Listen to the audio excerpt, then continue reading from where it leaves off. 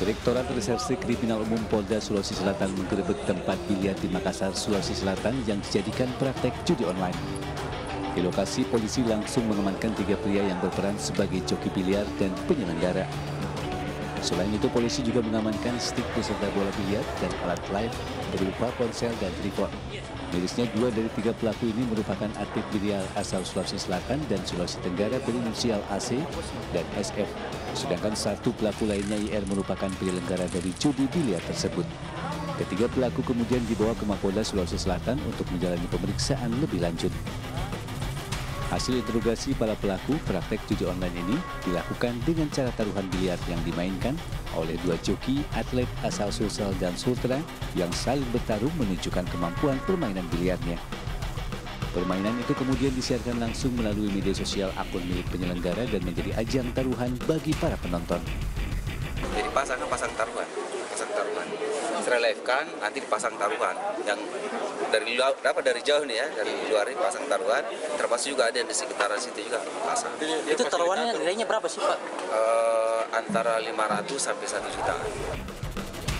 Untuk mempertanggungjawabkan perbuatannya pelaku dijerat pasal pencucian dengan ancaman 5 tahun atau 10 tahun penjara.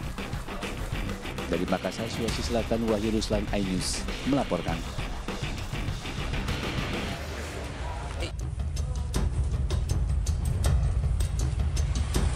Tim Resmom Polda Sulawesi Selatan bersama tim Jatanras Polres Goa langsung mengepung sebuah rumah di Jalan Abu Bakar Lambogo, Kota Makassar, Sulawesi Selatan setelah mengetahui pelaku atas nama Anggara Yudhistira bersembunyi di dalam rumah tersebut. Pelaku yang mengetahui dirinya sudah terkepung berusaha melarikan diri melalui jendela belakang rumahnya. Polisi pun sempat terlibat kejar-kejaran dengan pelaku. Hingga akhirnya pelaku dapat tertangkap setelah polisi membagi dua tim. Usai mengamankan pelaku, polisi lalu mengembangkan penyelidikan dan berhasil mengamankan tiga unit sepeda motor hasil kejahatan pelaku dari dua orang penadah. Salah satu istri penadah sempat menghalang-halangi petugas saat akan membawa suaminya, namun setelah petugas memperlihatkan surat tugas, ia pun merelakan suaminya dibawa petugas. Komandan Tim 1 Resmo Polda Sulawesi Selatan, Aibtu Arsyad Samosir mengatakan pelaku yang diamankan merupakan pelaku ranmor yang juga residivis dalam kasus begal. Dalam menjalankan aksinya, pelaku berkomplot empat orang menyasar motor yang berada di luar daerah, kemudian menjualnya di kota Makassar. Yang kami amankan tadi adalah pelaku curanmor, yang mana yang bersangkutan itu adalah residivis, residivis pelaku begal.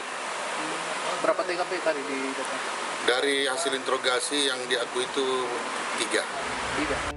Kini pihaknya masih memburu ketiga rekan pelaku yang identitasnya sudah diketahui. Dari kota Makassar, Sulawesi Selatan, Muhammad Nurbone, iNews melaporkan.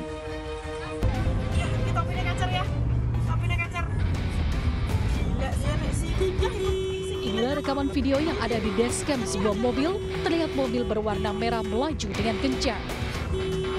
Diketahui di kap depan mobil tersebut terdapat seorang anggota polisi yang diduga sedang melakukan pengejaran terhadap pelaku.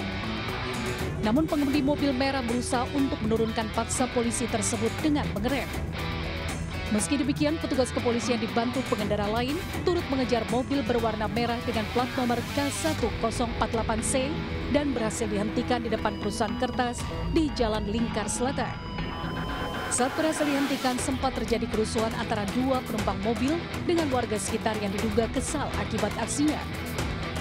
Menurut warga dalam aksi tersebut mobil putih sampai mengalami kempes ban dan bemper belakang rusak karena ditabrak saat menghentikan paksa mobil berwarna merah. Namun pengemudi mobil merah berhasil kabur dan terhenti kembali di depan pabrik kertas dan warga menduga pengemudi mobil merah tersebut pelaku pencurian pisang.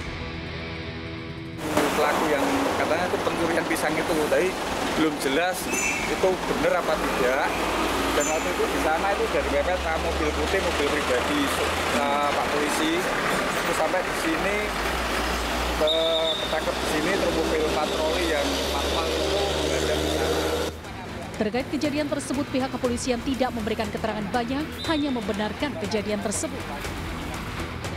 Dari Kudus, Jawa Tengah, Nur Koirudin, iNews melaporkan.